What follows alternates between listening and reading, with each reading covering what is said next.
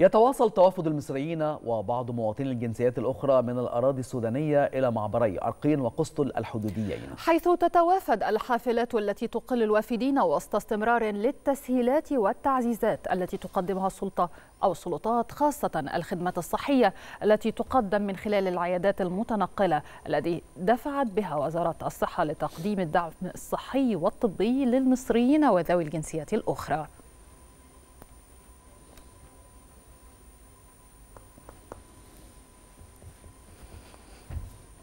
وللمزيد حول توافد المصريين والسودانيين ورعاية الدول من معبري أرقين وقسطل الحدوديين ينضم إلينا مراسل التلفزيون المصري الزميل محمود جميل. مرحبا بك محمود صف لنا الأوضاع لديك. نعم بعد التحية يتجدد اللقاء معكم في تغطيتنا المستمرة لتوافد السودانيين عبر معبري قسطل وأرقين والجهود المصرية المستمرة في تقديم العديد من الخدمات. ملاحظتان هامتان اليوم. الملاحظة الأولى هو منذ قليل يعني أو منذ عمل العبارة التابعة العبارتين التابعتين لمحافظة أسوان منذ السادسة صباحا وصل حتى الآن ما يقرب من خمسة أو ستة أتوبيسات إلى ميناء أبو سمبل النهري.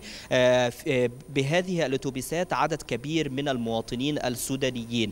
يستريحون قليلا في هذه المدينة يتناولون العديد من الوجبات والمشروبات وسط تقديم كل الخدمات من أهالي مدينة أبو سمبل وتقديم كل الدعم لهم وتقديم كل الخدمات الصحية أو حتى الدعم النفسي المقدم لهم. ثم يتوجه تتوجه هذه الحافلات إلى مدينة أسوان وإلى موقف كركر الدولي وبعض الحافلات ستعود مرة أخرى إلى معبر قسطل لمجيء عدد آخر من السودانيين المتواجدين بالفعل في معبر قسطل.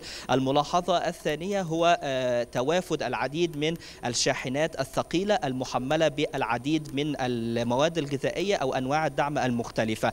رصدنا منذ مساء أمس بعض الحافلات أو بعض هذه الشاحنات تتجول أو تسير في مدينة أبو سمبل متجهة إلى معبري قسطل وأرقين. وتحديدا معبري معبر قسطل هناك أربع عبارات تعمل لنقل هذه الشاحنات أو لنقل حتى الوافدين السودانيين ومواكبة العدد المتزايد على مدار الأيام. فهناك عبارتين تابعتين لمحافظة أسوان والعبارتين التابعتين للقوات المسلحة المصرية. كل هذه العبارات تعمل لخدمة المواطنين السودانيين سواء في نقلهم أو حتى في إرسال هذه الشاحنات. هذه الشاحنات أيضا الثقيلة المحملة بالمواد الغذائية تزداد هذه الأيام نظرا لأنه على مدار الأيام القليلة الماضية كان هناك يعني تجديد لهذه الخدمات وأيضا إضافة العديد من أنواع الدعم والمساعدات من جانبين الجانب الأول من الحكومة المصرية بالطبع ومن مؤسسات الدولة المصرية فهنا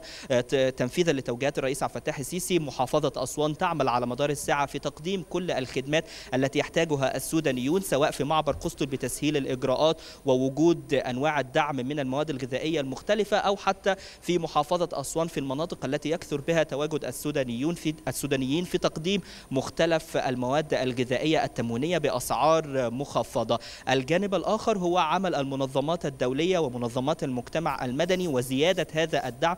نتحدث عن مفوضية اللاجئين شؤون اللاجئين ونتحدث أيضا عن المنظمة الدولية للهجرة.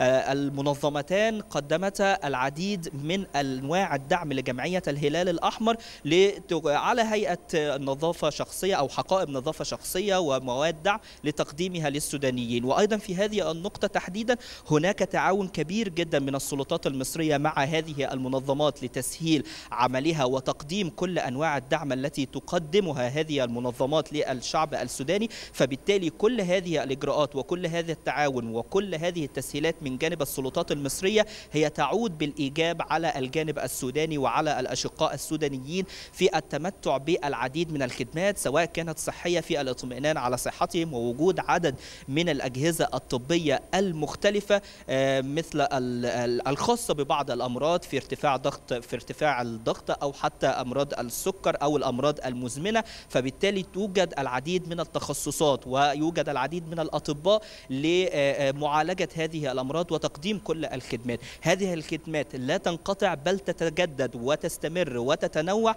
لاستقبال العديد من الموافدين الذين يزدادوا يوما بعد يوم خاصة في هذا الوقت الذي نتحدث فيه وصل حتى الآن ستة أتوبيسات وأيضا البقية تأتي وسط استمرار نعم. من الدولة المصرية في فتح الحدود التزاما ب يعني التزام أو اتساقا بالتزاماتها الدولية والإقليمية تجاه الأشقاء التي الذين يعني لا الدولة هنا لا تفرق في معاملة أية من الأشقاء بل تستقبلهم بالفعل. ومزيد من الخدمات تقدم لهم سواء في أسوان أو في أي محافظة أخرى. الزميل محمود جميل مراسل التلفزيون المصري كنت معنا من معبري أرقين وقسطل الحدوديين شكرا جزيلا لك.